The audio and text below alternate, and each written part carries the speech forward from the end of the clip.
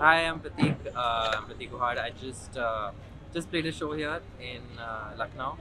It was really nice, really amazing energy actually. बहुत uh, positivity थी air में and uh, everybody, me and my whole band including, had a wonderful time. Thank you to everybody who came out to the show.